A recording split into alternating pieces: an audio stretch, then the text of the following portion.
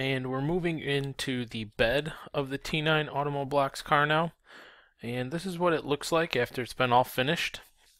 Uh, now I'm not going to walk you step by step how to do this. I'm just going to give you tips on what I did because I'm expecting you to be able to do all of this on your own now.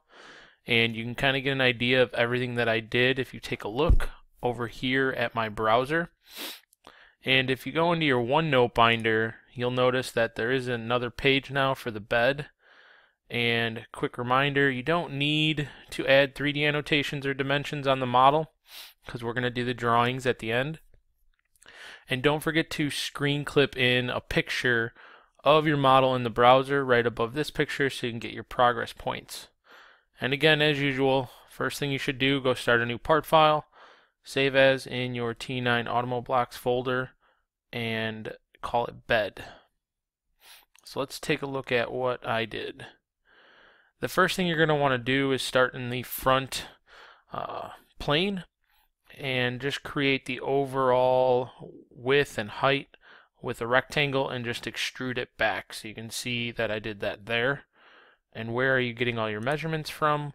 Well, if you take a look at this drawing here, you'll notice I'm giving you a rear view and a left side view and then a detail view that has been blown up. So a portion of this rear tail light section has been blown up so you can see those circles the locations that notch the locations.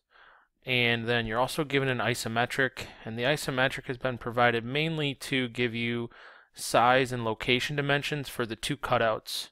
This cutout in the front portion of the bed and then this cutout right here, which is actually the bed area, the back of the T9.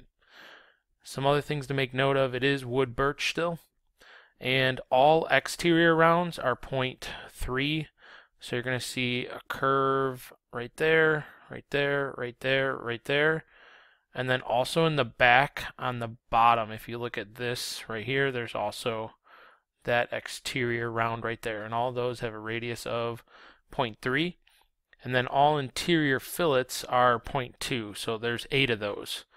One two three four five six seven and eight.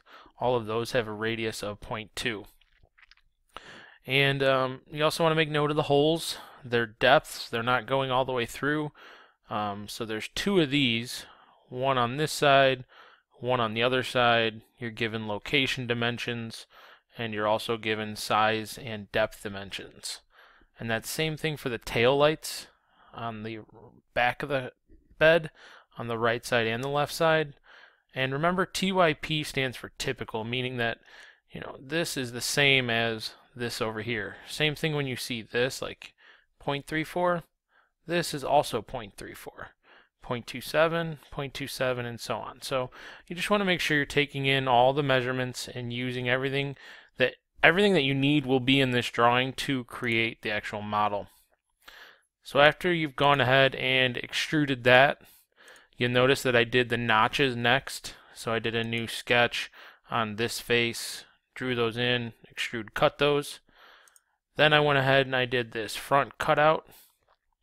So I drew that rectangle, size dimensions, location dimensions, extruded it, cut it, and then I did this bed area. So I drew a new sketch on the top face, drew that rectangle, size dimensions, location dimensions, extrude cut it down, and then you'll notice I added in all the interior fillets, so there's eight of those like we just said.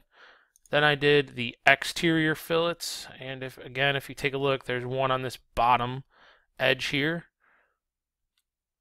And then what did I do next? I did the holes. So now quick tip here. When I did the holes, I only did two on this side for the rear, and then this axle hole right there. And then what I did is I just mirrored all three of those to the other side so I didn't have to do it again on this side. And remember to do that, you'll need to create a work plane in the middle. Remember using the work plane, so you'll left click, hold, drag this. Now you got to figure out you know, what's the distance to the middle of this bed? So you'll have to look at some of those existing overall dimensions to figure out, you know, how far is it to the middle so you can add in that work plane and then you can use the mirror like you see here. So I mirrored these across that work plane to the other side. Finally, make sure that you add your materials, update your iProperties, and then go ahead and save this. And finally, uh, scoot that over, screen clip that in for a grade, and you will be all done with the bed of the T9.